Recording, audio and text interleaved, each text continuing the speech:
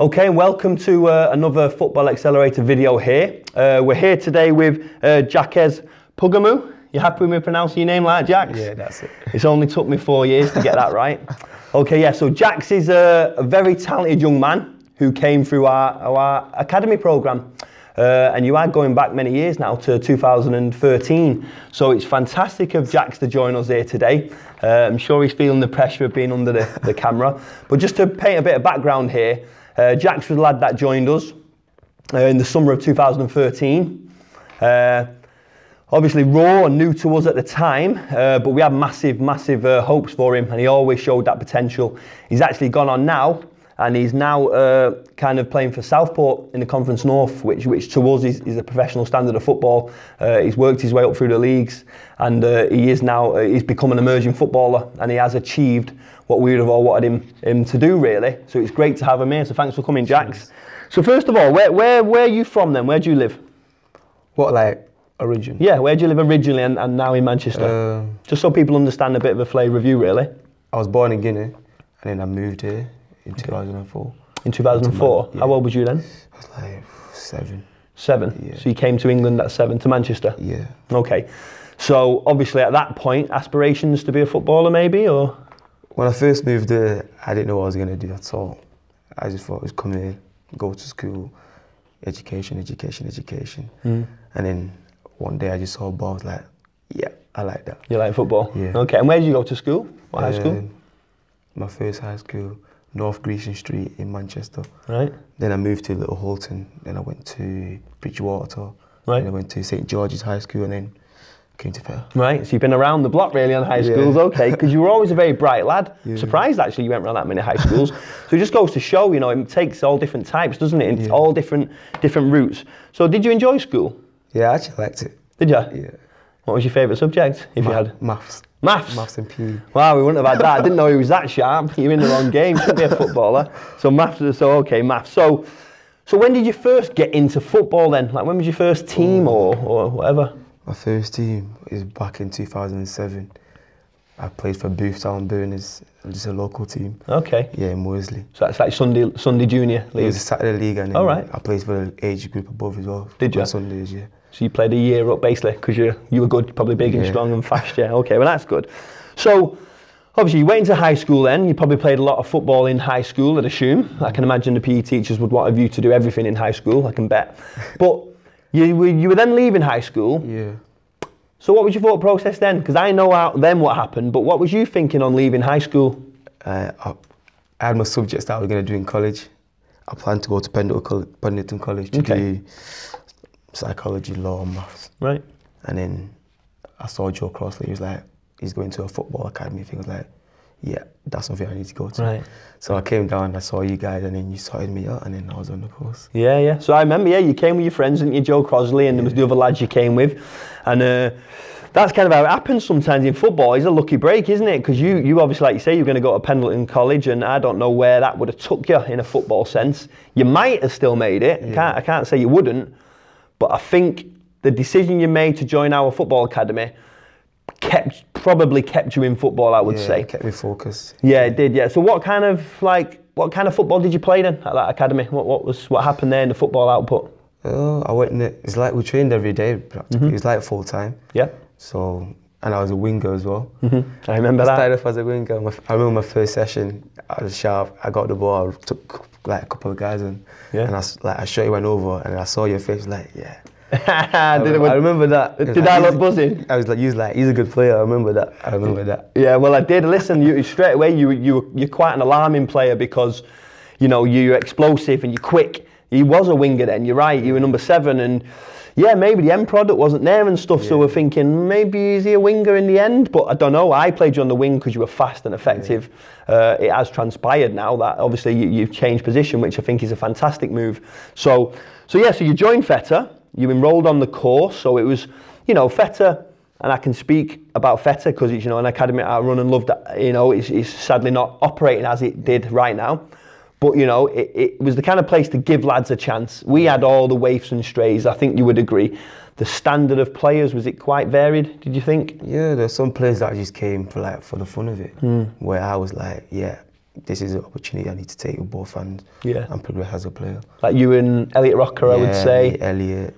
Yeah. Some of us took it seriously, didn't they? And, and have gone on to play well in, you know, the, the football club we currently run now, Manchester Central. We have about eight ex-FETA students playing for us who are now, you know, 18, 19, 20 and they're doing really well. So yeah, at FETA there was lads that took it serious, but it did take a certain drive from people like you Yeah. and Elliot Rocker to keep turning up, keep playing in games when you might have even got hammered one week, keep playing in the teams where you had a really varied group of lads with you. You might be thinking he's no good, but you always turned up. The thing I loved about you, you didn't you didn't live around the corner, and you were always there. And I think a real good pointer for any young footballers moving forward, it is about commitment, loyalty, perseverance, all that kind of. And you had that.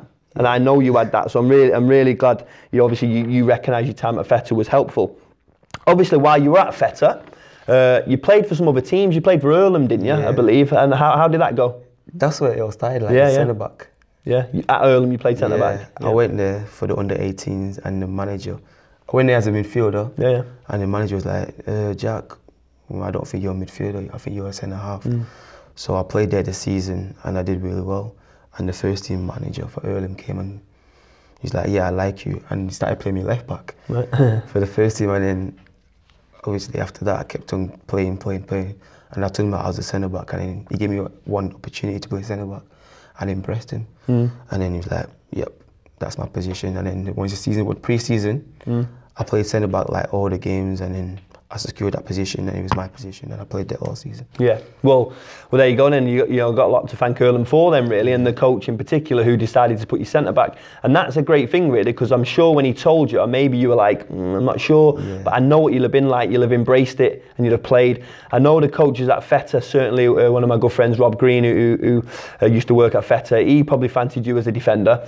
He'd been known to move people around. I, I, was did, I did start playing like towards the end of my Towards- career as a defender. As a defender, yeah, because we cottoned it what Irlam were doing. So yeah, so obviously you move position, which I think to any young aspiring emerging footballers out there, you've got to be flexible, haven't you?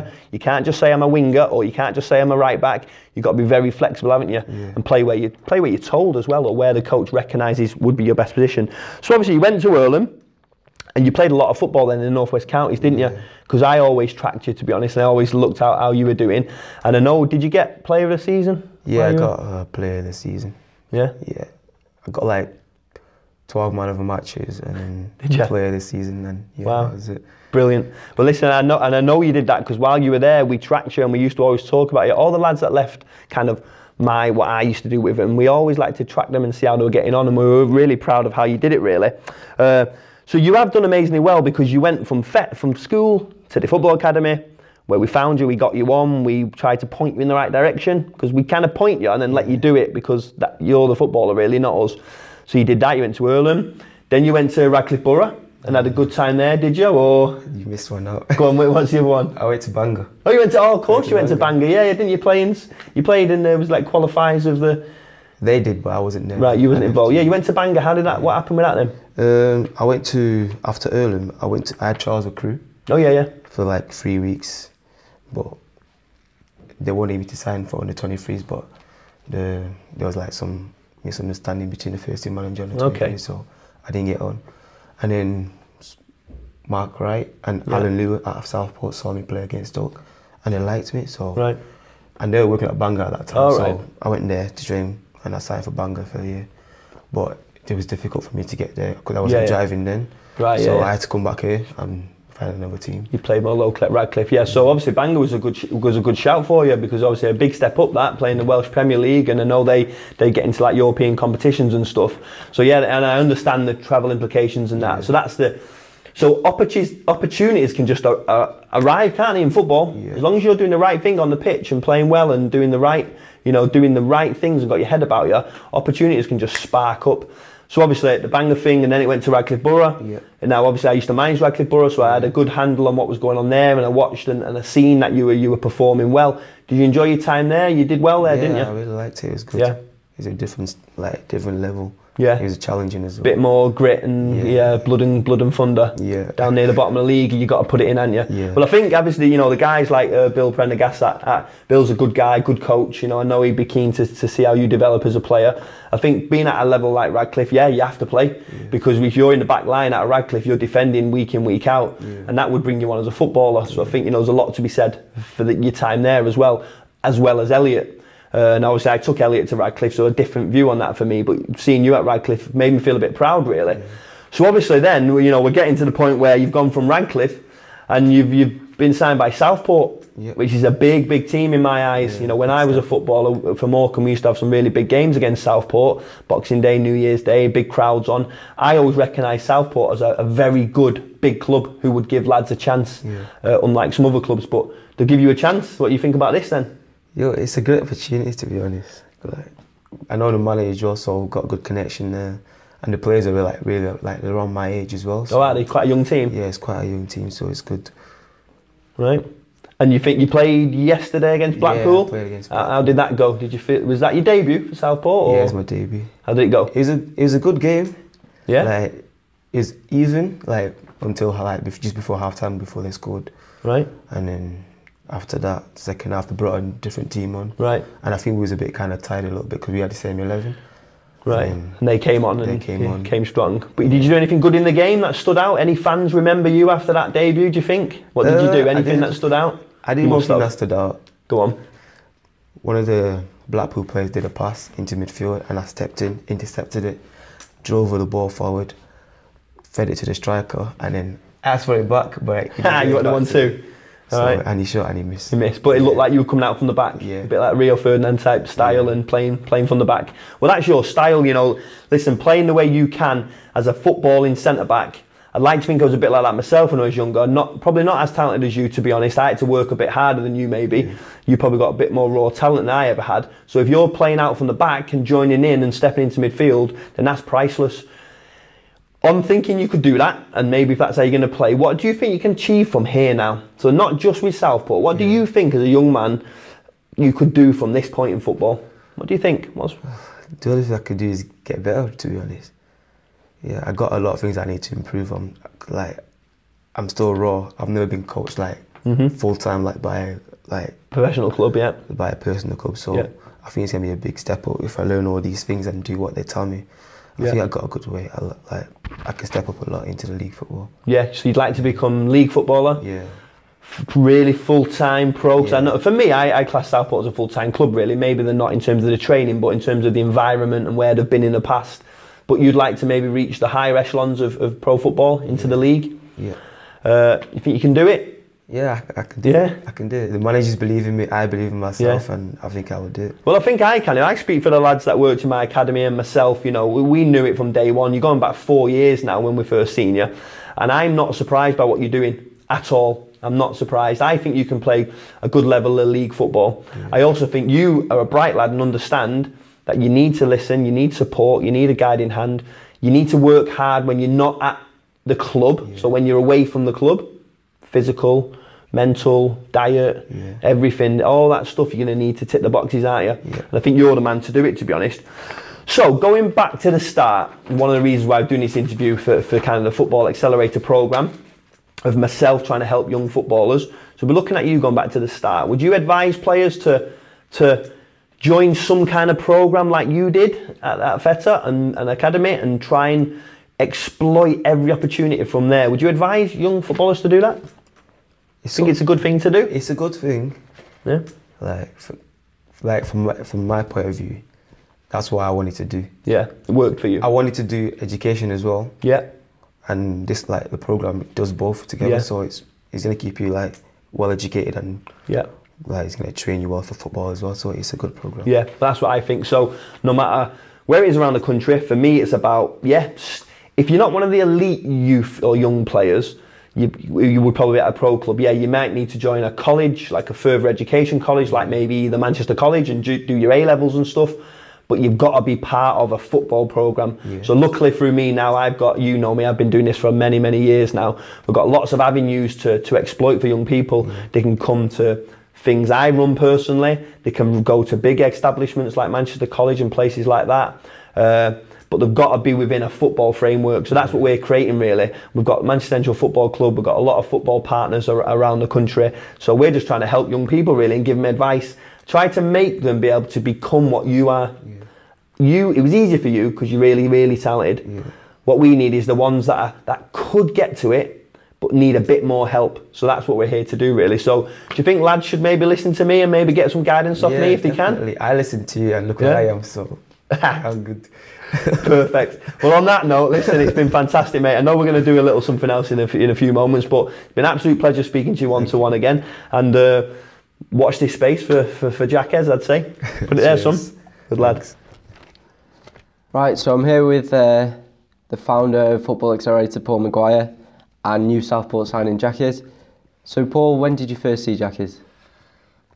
Well, first saw him, he turned up to a training session. The- I think it was at the Armitage Centre in Fallowfield. He turned up with his mates and he just looked like a little bit of a skinny guy, you know, and I didn't really know what he was doing and a bit erratic. But then, I think as he, as he alluded to earlier, we put him on the pitch and he played and he was he was standout.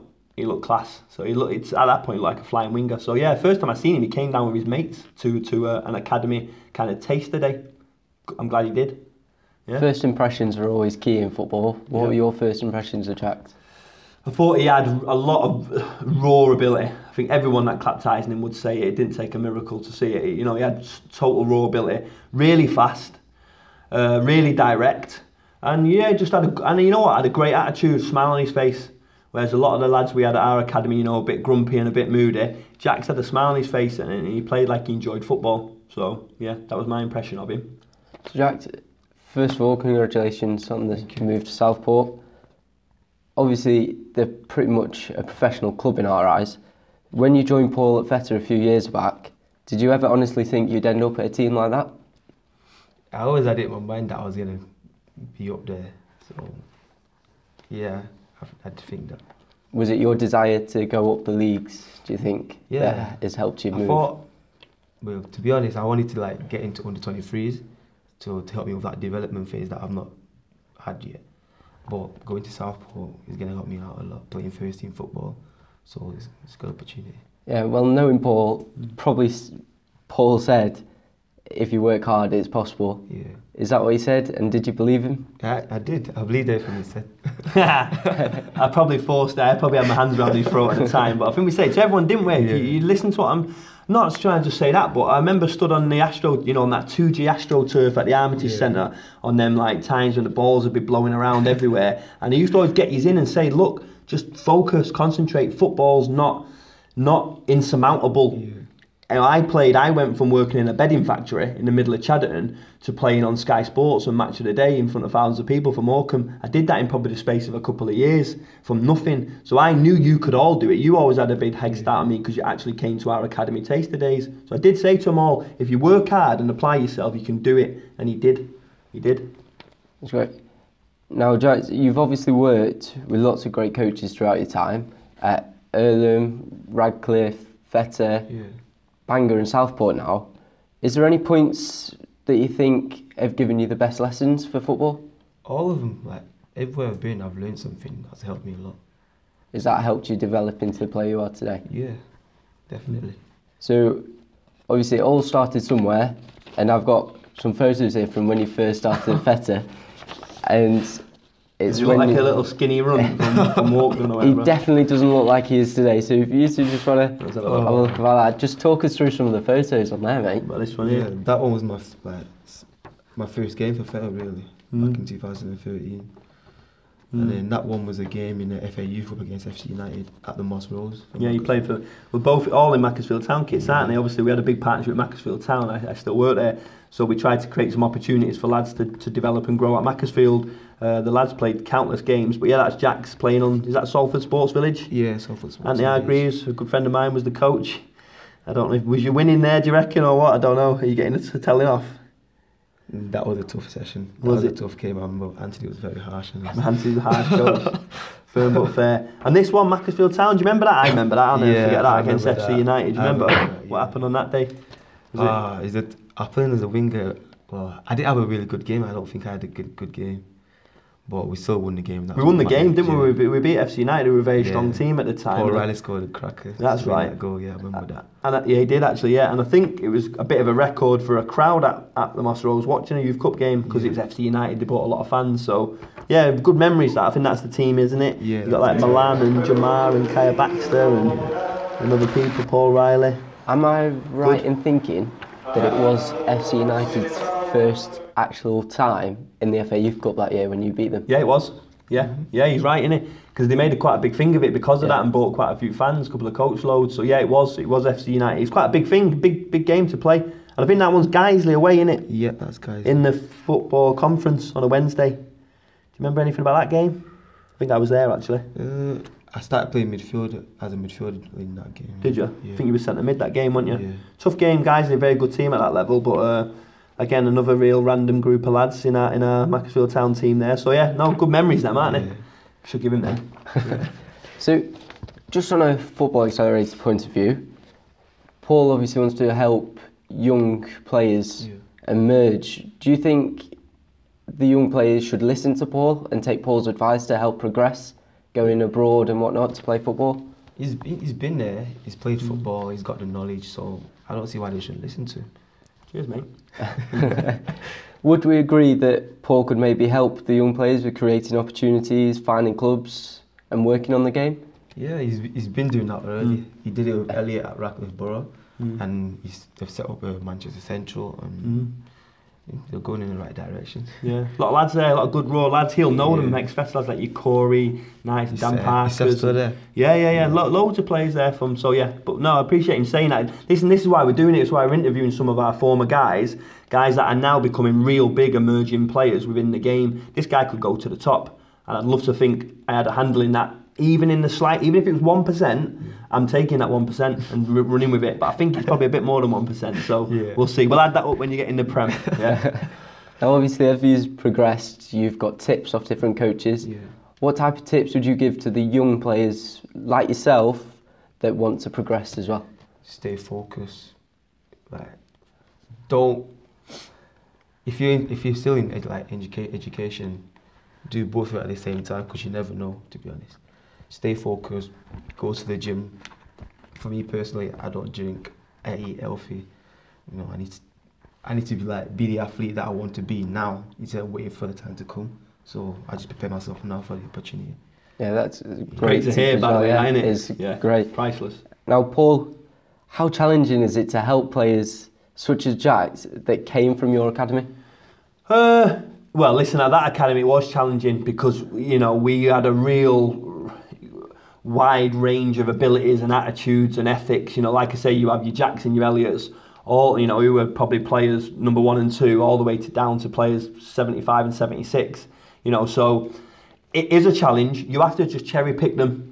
You have to decide which ones you think you're worth helping. I remember convincing Jacks to, to play for Macclesfield Town in the FA Youth Cup when he wanted to play for Irlam. Yeah. Do you remember that? Yeah, I yeah, that. he remembers that. I had to convince him to play for Mac Town. Now, maybe that was selfishly because I wanted a, a quality player in our team. But so you do pick them and then you kind of get into them. Elliot was the same. I had to not exactly convince Elliot to play for us and join Feta, but you know, I did really. I had to sell it to them and I had to tell them that something can come for this. And you know what? I'm so glad I can look back and think it did. It wasn't a bit, you know, a bit of a figment of my imagination. So it is a challenge, but you pick the best ones and then you kind of you kind of run with it and, and see what you can do with them. So he's a, a great example of that. It's challenge, but you pick the best ones.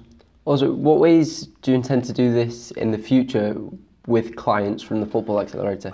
Well, look, the whole uniqueness of the football accelerator is Jack. I've been talking to Jack about that. Is I used to have to get all the lads to come to me, so they had to be on our program. But now I'm trying to do it where they don't have to come to a program. I will do it individually and one to one. So if they become a client of the football accelerator, they get all the kind of prior knowledge, all the information I built up. Maybe even get opportunities to speak and chat with people like Jack's. Uh, certainly chat to our lads that have gone over to Australia now to play. You know, we're, we're, setting up a system through the Football Accelerator where they can hopefully have some one-to-one time with, with players that have done what they want to do. So that's the way to do it really. It's, it's, it's groundbreaking, it's unique. It is what we call a course and effectively it's online. the world's going online. It's, it's all about that now. So this is a, a football accelerator program, which is about mentoring uh, and online and delivering a course for four to eight weeks. And we're hoping that that snapshot can do exactly what Jack's done. New, challenging, can it work? I don't know, but if we work with a thousand people, which is the plan, and it works for ten people, and ten people get similar to what Jack's done, it'll be a big, big success. Now that seems like a great idea. So is that how you intend to help UK and overseas players? Yeah, if they're in the UK, they can do an eight-week course where they get my mentorship. Uh, so that you know, eight-week program and see where it takes them. Uh, again, a lot of accountability on them, a lot of onus on the individual to do it. Uh, for overseas guys, because as you know, at, at, my football club currently now, we have uh, uh, people from all kind of countries that play for us. We obtained international clearance, and they now play competitive league football for, for Manchester Central, and they can get scouted from there, and they can see people. You know, if they do really well for us, they will move on. So yeah, if they're if they're an overseas guy, they live you know Asia or Africa or wherever, they can they can. Uh, join as a client of the Football Accelerator. They can do a four week program which involves all the stuff which is built into the four week uh, package, and we can hopefully get them to England to become footballers. So we'll see. Groundbreaking and unique. I think it can work. We'll see. Hopefully, we'll make a few more Jack Hezes. I don't know. Maybe.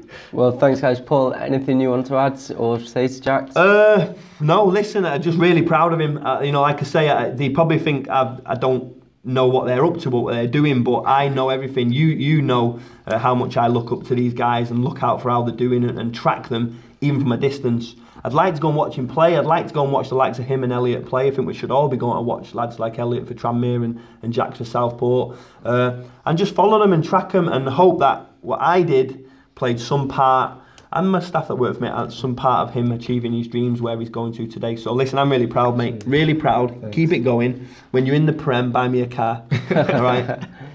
All right. Thanks, fellas. Good. Right. Thank you. Paul.